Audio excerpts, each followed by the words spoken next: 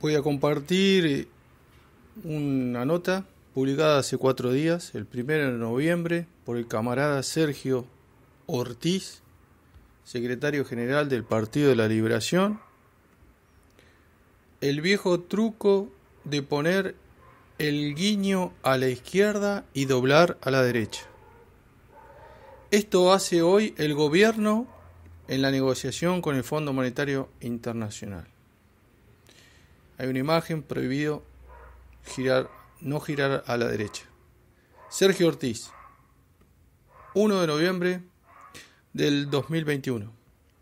Alberto no es Carlos Marx, sino Groucho. En épocas de elecciones, los candidatos de la burguesía suelen prometer más de la cuenta y decir cosas que jamás pasaron por su cabeza realizar. Valían muchos votos y las dijeron. En Argentina hoy se libra una campaña electoral.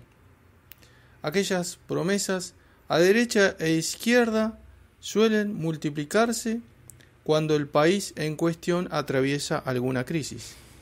Las necesidades del público son mayores, el descrédito de los candidatos idem y las promesas tienen que tener alto voltaje y un impacto lo más inmediato posible.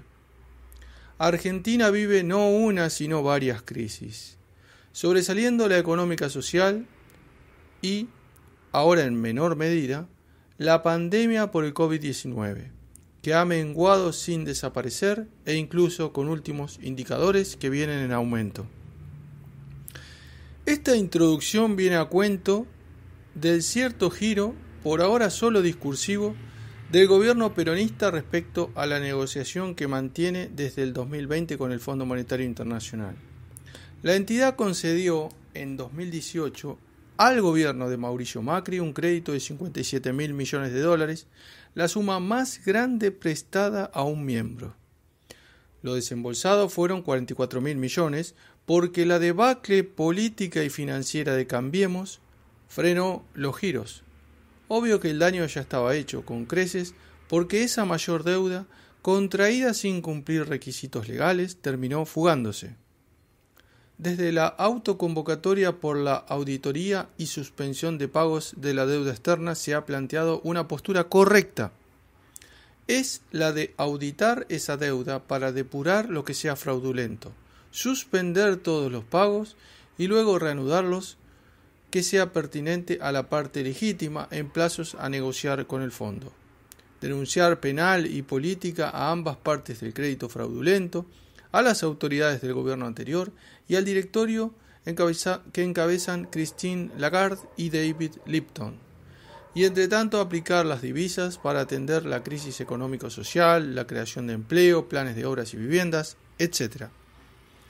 En vez de tomar por este camino de independencia, la dupla Fernández y el tercer socio Sergio Massa reconocieron semejante deuda como legal y legítima.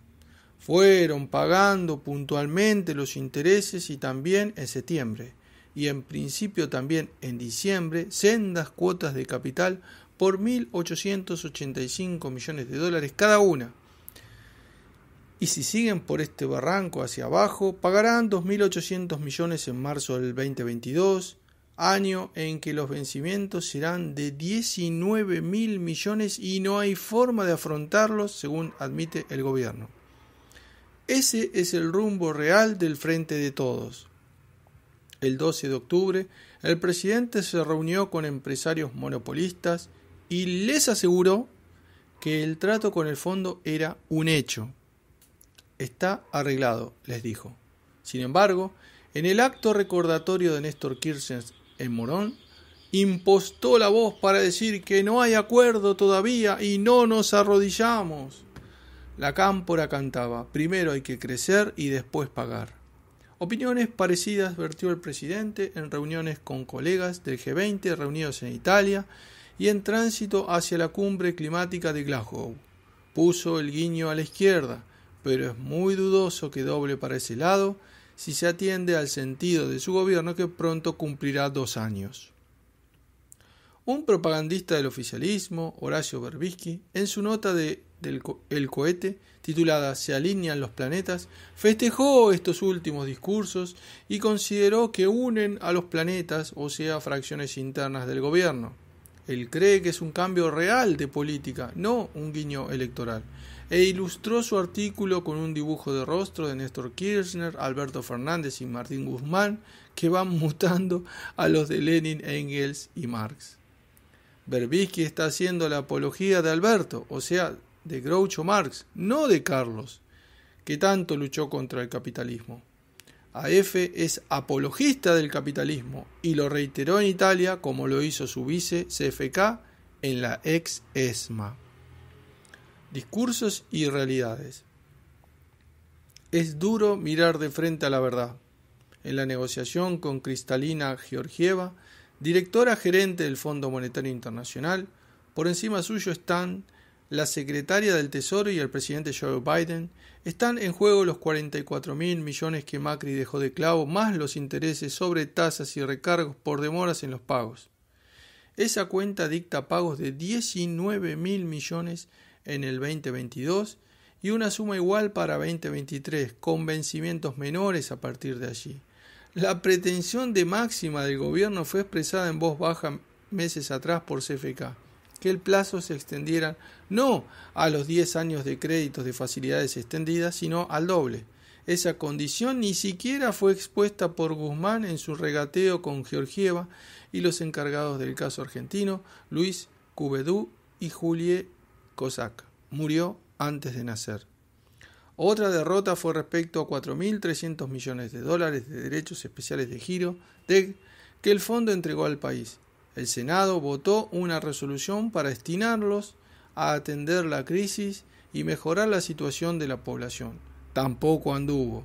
Fueron empleados para pagar vencimientos de capital e intereses de lo contraído y fugado por Macri. El Frente de Todos hizo una denuncia penal vía Oficina Anticorrupción contra el préstamo del 2018. Se basó en el informe del Banco Central de la República Argentina de mayo de 2020, según el cual se fugaron 86.200 millones de dólares en el cuatrienio macrista. La denuncia fue correcta, con dos límites insuperables. No abarcó a los funcionarios del fondo, Lagarde y Lipton, y se siguieron pagando esas obligaciones espurias. El oficialismo no impugna los 19 mil millones a pagar cada uno de estos dos años. Pide postergar esos vencimientos al menos cuatro años, como sucedió con BlackRock y demás bonistas privados en 2020. Transcurrido el cuatrienio, los vencimientos caerán sobre todas y todos con el peso de una luz o el fuego y lava del volcán español en La Palma. El regateo está centrado en una cuestión menor, las sobretasas. Guzmán y Fernández piden que sea del 1%, normal, y no del 3 o más como surge de los estatutos fondo monetaristas. La diferencia serían mil millones de dólares anuales, una fortuna, pero una partícula del problemón. Aun si les concedieran ese punto, seguiríamos muchos miles de metros hundidos bajo las aguas del mar sin sacar la cabeza para respirar. La pregunta es por qué el gobierno ahora imposta una crítica al Fondo Monetario Internacional y alardea de supuesta dureza negociadora. Una razón principal es que simula fortaleza para ver si puede sacarle mejores condiciones. Sería parte de presión negociadora, no una patada al tablero ni mucho menos. La jugada tiene sentido electoralista, busca conformar a sectores del Frente de Todos que discrepan con la claudicación ante Georgieva y lo hicieron saber el 17 de octubre en Plaza de Mayo. Esta sería la segunda razón del giro discursivo, con un complemento también electoral. Los Fernández no quieren que parte de sus votos de base popular y progre se le vayan por izquierda y voten al FITU están la realidad y los discursos. El amague anti-FMI es tan poco creíble como lo de Rodríguez Larreta que al hablar de la inflación culpó a los monopolios. Son de su team, pero lo electoral lo llevó a esa crítica, que le crea Magoya. Curitas o bisturí. A la par del endurecimiento del lenguaje con el fondo, hubo un gesto real contra los monopolios. El secretario de Comercio, Roberto Feletti, puso en marcha el congelamiento de precios de 1.432 productos con fecha de inicio el 1 de octubre y finalización el 7 de enero. No hubo acuerdo con la Coordinadora Empresarial de Alimentos, COPAL, ni la UIA, ni la Cámara Argentina de Comercio. Esa convergencia empresarial y con nutrido acompañamiento de los medios concentrados dijeron que ese control terminará en fracaso y en mayor inflación. Frente a tanto fuego cruzado, Feletti aclaró que su control no es un remedio contra la inflación, fenómeno multicausal, como lo calificaron Guzmán y Culfas. Solo serviría para un respiro, contener un poco la remarcación de precios y, aunque no lo diga, poner oxígeno en los atosigados pulmones del oficialismo, muy pendiente de lo que suceda el 14 de noviembre. Varios monopolios hicieron saber su descontento con el control de precios, entre ellos Molinos, Ledesma y Arcor. También dos cadenas de supermercados como Coto y Walmart, hoy en poder de Francisco de Narváez. No se agote allí la lista de enemigos de la lista de Ferretti. Hay más que buscarán sabotearla para ganar más con maniobras en la producción, comercialización y balances. Aún suponiendo que los monopolios tuvieran un ataque de bondad extrema y respetaran el congelamiento hasta el 7 de enero, algo muy dudoso, ¿qué ocurrirá el 8? Al ritmo inflacionario actual, cuando octubre terminaría en un 3,2% de inflación, a enero habría una inflación contenida del orden del 10% o más. En el trimestre se habría agotado la supuesta bondad de Copal, UIA y CAC. Lo previsible es que en tal fecha, sino antes, esos grupos dominantes de alimentos, bebidas, productos de limpieza, higiene, textiles y otras mercaderías imprescindibles para, vender, para vivir volverían a empinar los precios y si hay aumento del dólar, más aún. En los últimos discursos del presidente Fernández hubo buenas críticas a los vivos que forman precios y especulan con ganancias a costa de la mesa de los argentinos. Es un buen enfoque porque apunta a los monopolios como formadores de precios y no a la inflación como fenómeno derivado de la emisión monetaria, el déficit fiscal, el gasto público, la balanza comercial, etc. Está bien ese diagnóstico, si bien es muy reciente. Sería importante que se mantenga y profundice en el tiempo, pero sobre todo que se tomen las medidas adecuadas para estipar ese cáncer de la economía. Hasta ahora el gobierno viene a contramano de esa línea antimonopolios, pues ha firmado acuerdos y leyes favorables a los agroexportadores petrolera, gasífera, automotriz y grupos hegemónicos que dominan el mercado y las divisas. Cualquier medida antimonopolio llevará a estos grandes capitalistas a quejarse de que les están pinchando las gomas. Está en trámite de designación el embajador estadounidense Mark Stanley, quien declaró que Argentina es un hermoso bus turístico al que no le funcionan las ruedas. Error, no son las ruedas ni los neumáticos, es el conductor y la ruta elegida, siempre en afinidad con Estados Unidos, sin sintonía total. La semana pasada, el Departamento de Estado difundió su informe sobre el voto en Naciones Unidas en el 2020.